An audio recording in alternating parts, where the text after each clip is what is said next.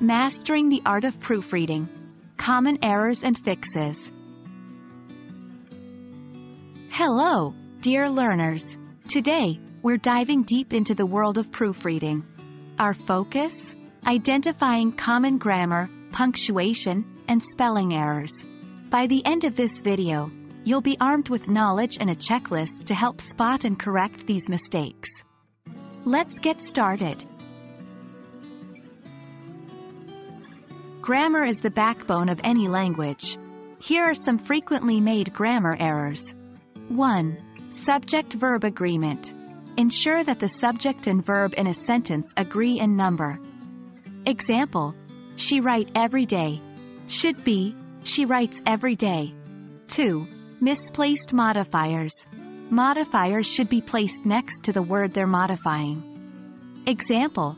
He almost drove his kids to school every day. Should be, he drove his kids to school almost every day. 3. Incorrect tense. Ensure you're using the right tense. Example. Yesterday, he is at the park. Should be, yesterday, he was at the park. Punctuation marks are like traffic signals for readers.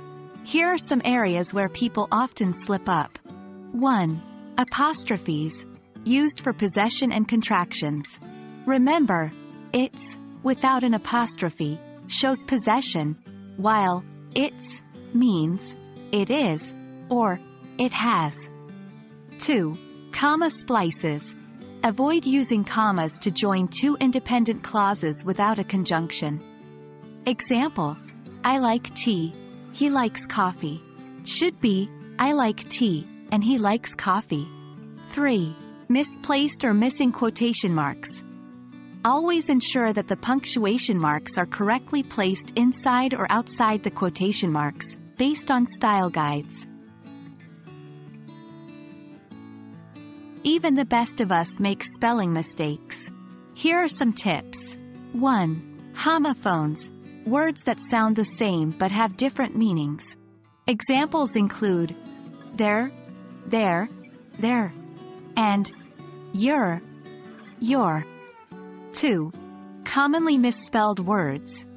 Words like definitely, separate, and accommodate often trip people up. Double check them. 3. Use spell check, but don't rely solely on it. Sometimes, the tool may overlook errors, especially with homophones.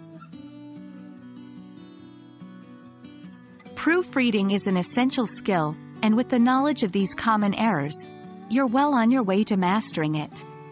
We hope this video serves as a valuable tool in your English language journey. Remember, practice makes perfect. Until next time, happy learning and happy proofreading.